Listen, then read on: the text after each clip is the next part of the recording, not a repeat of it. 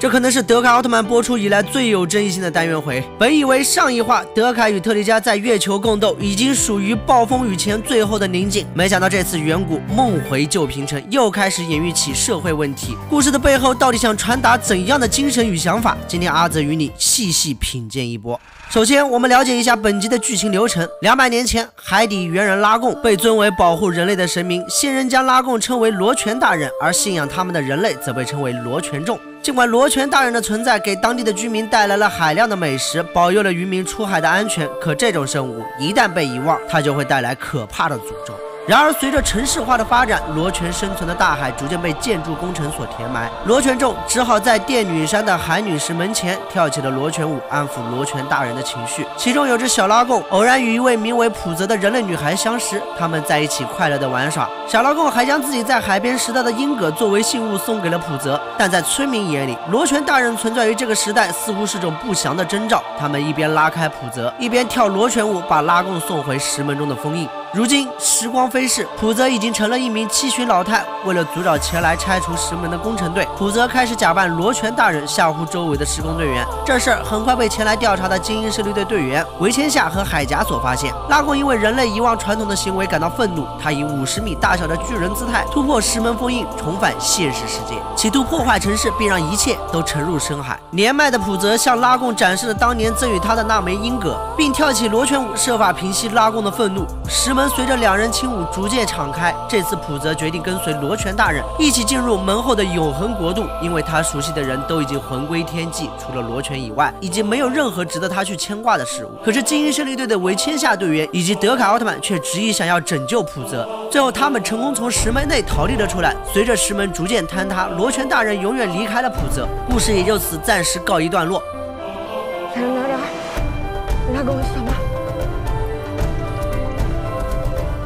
有些阴谋论者认为，普泽早已与拉贡同化，原因是他身上留有和拉贡同样物质构成的粘液，并且在村子的多个事发现场都有这种粘液残留的痕迹。但这些是与否，对故事的主题并无太大影响。主要的问题在于，韦千夏阻止老人离开现世的做法究竟正不正确？普泽想要离开的原因很简单，他对世界没有任何留恋，不愿意一个人孤独终老。由此，我们衍生出了本话讨论的核心主题，那就是。